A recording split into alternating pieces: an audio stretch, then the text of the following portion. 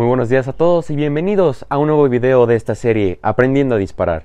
El día de hoy es un video muy especial ya que el domingo, el 6 de septiembre, habrá una tirada de siluetas en Ocotlán, Jalisco y si todo sale bien, ahí estaré. Así que si ustedes están ahí, asegúrense de saludarme. Ya sé que todos traeremos nuestro cubrebocas, pero de seguro me podrán reconocer por mi gorra de tiro deportivo México. Sean bienvenidos. Así que el día de hoy hablaremos, eh, por esta ocasión especial, de los tips para ser un mejor siluetero número 2. Vamos directamente al primer tip. El primer tip que yo les voy a regalar es si un tiro no parece, o sea, o sea, si ya lo tienes preparado, ya estás apuntando y llevas ahí 10, 15 segundos y no te puedes estabilizar, no te apresures. Tómate tu tiempo y la verdad yo te recomendaría que empieces desde el principio. Baja tu rifle, respira hondo, cálmate, y vuelve a subir el rifle para volver a apuntar. Así no te apresurarás, no perderás esa paciencia y me ha pasado a mí que prefiero soltar el tiro aunque sé que no voy a pegar que volver a empezar desde el principio. Entonces no hagas eso.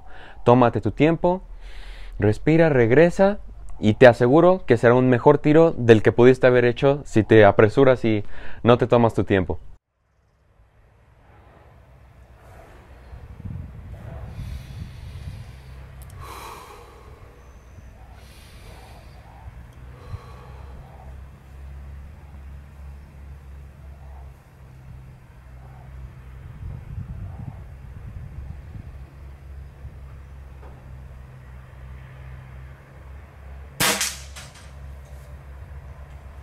El segundo tip siluetero es, si hay viento, no importa en qué dirección sea, compénsalo dentro de la silueta. ¿A qué me refiero? Si hay viento de izquierda a derecha, no apuntes al centro, porque si el viento es demasiado fuerte y te lo va a mover media silueta, vas a fallar.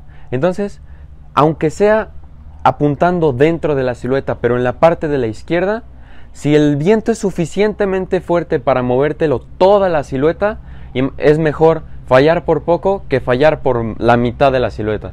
Entonces, si hay viento de izquierda a derecha, apunta en la parte izquierda de la silueta. Lo más probable es que acertes. Y si no acertas, si fallas, será por mucho menos a que si hubieras apuntado en el centro de la silueta. El tercer tip del día de hoy es presentado por nuestro nuevo orgulloso patrocinador Safari Indoor. Es una tienda y un campo de tiro cerrado aquí en, la ciudad de Aguascalientes. Chequense esto.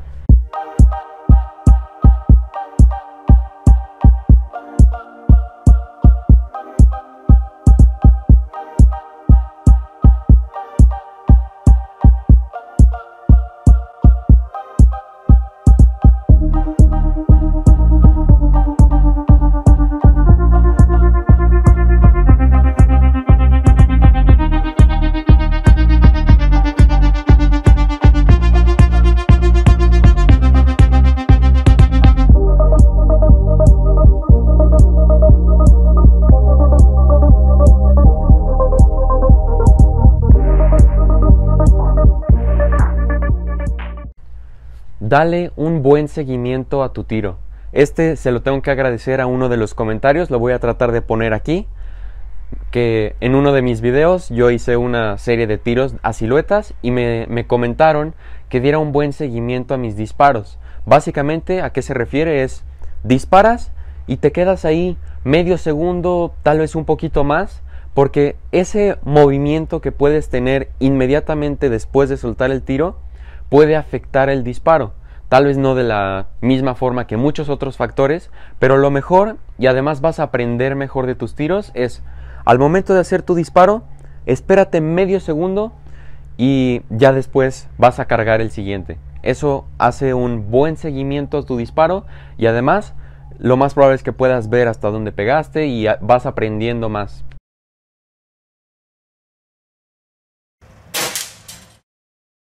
El cuarto tip del día de hoy es no utilizar demasiados aumentos. Yo cometí el error, mi mira telescópica es de 10 a 50 y normalmente tiraba yo siempre en 50 porque decía, si tengo todos estos aumentos, por eso pagué para la mira, pues los voy a usar.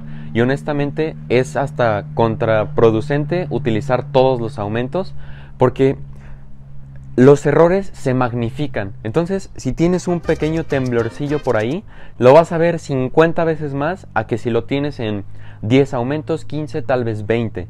Entonces, yo lo que te recomiendo es encuentra ese aumento en el que se vea lo suficientemente estable. Obviamente tienes que ver la silueta, pero no utilices demasiados. Y además, al momento de hacer el disparo, lo más probable es que se te mueva muchísimo, no vas a ver ni dónde pegaste y si le diste, lo único que vas a ver va a ser la silueta caída, pero no vas a ver, este, no vas a tener un buen seguimiento, que es el, el tip anterior. Y el quinto y último tip por el día de hoy es haz tus prácticas y haz tus tiradas importantes. ¿A qué me refiero con esto? Yo, por ejemplo, llego al campo de tiro, normalmente estoy solo, pero si no estoy solo, trato de hacer una pequeña competencia con alguna otra persona que esté tirando en ese mismo momento. Por ejemplo, ya, ya debo dos cocas y tengo que buscar esa revancha, Aarón, eres tú. O si estás solo, pon un botecito en el que digas, por cada silueta que falle, voy a meter 10 pesos. Y honestamente ahorita yo ya sería rico, pero de eso se trata, de aprender, de hacer importante y además, si tienes algo que perder, cocas o monedas de 10 pesos, te vas a sentir un poquito más nervioso, que es lo mismo que se siente en una verdadera competencia. Entonces vas haciendo ese, ese fogueo, ese callo para la competencia y te aseguro que vas a mejorar mucho y vas a tener un buen ahorro. Entonces, esos fueron los 5 tips del día de hoy. Si te gustaron, dale like, compártelos, no, no olvides suscribirte. Y muchas gracias a todos, ya llegamos a 200 suscriptores. La verdad estoy sin palabras. Este, si estás en Ocotlán este 6 de septiembre en la tirada de siluetas, no olvides saludarme y eso sería todo por el día de hoy. Muchísimas gracias, un saludo a todos y enfócate en la retícula y presiona establemente el gatillo. Hasta luego.